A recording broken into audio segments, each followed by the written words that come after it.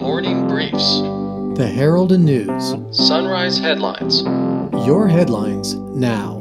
Good morning, Klamath Basin. It's Wednesday, August 8th, 2018. I'm Kurt Liedtke with the Herald and News. Here's a preview of some of the stories you can find in today's edition of the Herald and News. Time for your Sunrise Headlines.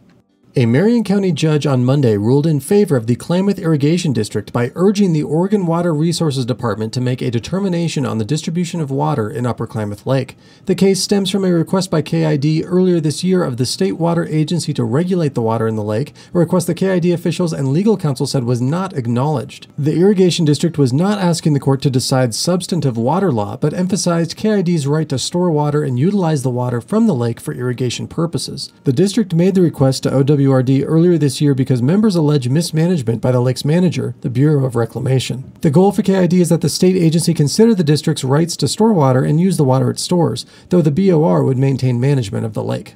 In front of a nearly full House, the Klamath Falls City Council voted Monday night to refer a decision regarding recreational marijuana to city voters in November. Council affirmed receipt of 1,864 valid signatures for an initiative petition to allow recreational marijuana production and sales within the city and to impose a 3% tax on retail sales. The council voted unanimously to affirm receipt of notice, but Councilman Bill Adams made clear before the vote that he did not support the measure.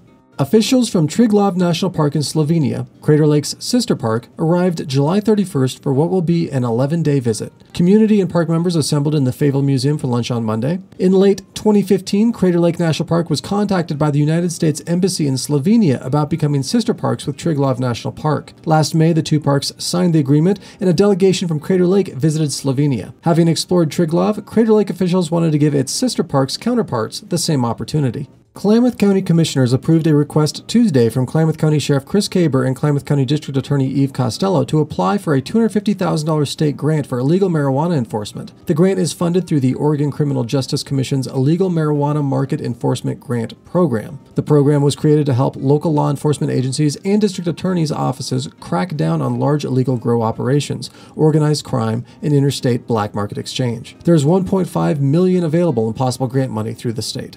And those are just a few of the stories you can find detailed in today's Herald and News. Be sure to follow us online via Facebook, Instagram, Twitter, YouTube, SoundCloud, and of course, heraldandnews.com. You can subscribe to our daily and weekly podcasts on iTunes and Google Play Music to automatically receive each show on your listening device and check back often for latest podcasts, videos, and breaking news. Good morning, Klamath Basin, and enjoy your day.